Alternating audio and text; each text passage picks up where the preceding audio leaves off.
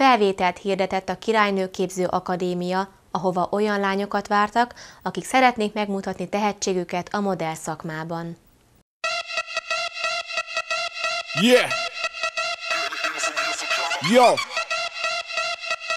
Right, let me just kill this right now quickly.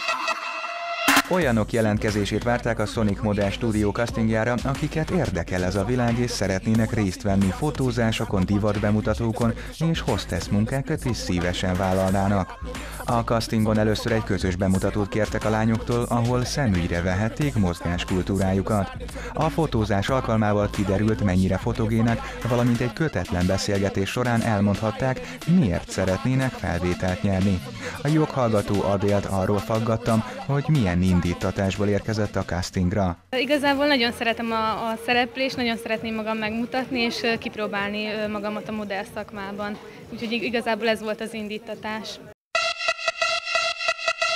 Yeah! Jó! Nem igazán van tapasztalatom a modellkedésből, viszont fotózásokra már jártam, és elég sok fotózáson részt vettem, és nekem nagyon tetszik, úgy érzem, hogy van helyem ebben a szakmában is. Adél még hozzátette, hogy színes egyéniségnek tartja magát, és szeretne minden olyan dolgot kipróbálni, amivel tapasztalatot gyűjthet, hisz nem lehet tudni, mi mikor válik hasznára.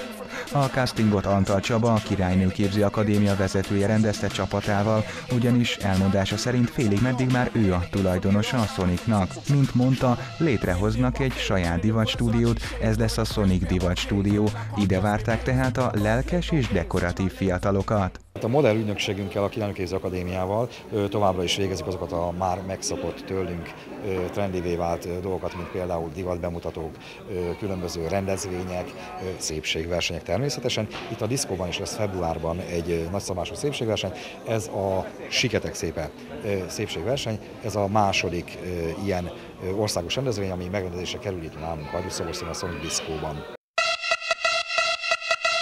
Yeah!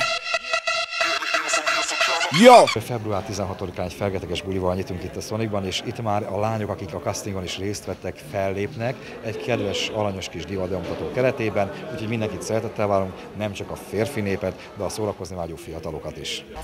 Legközelebb tehát a nyitóbulin találkozhatunk azokkal a lányokkal, akik sikerrel vették az első akadályokat.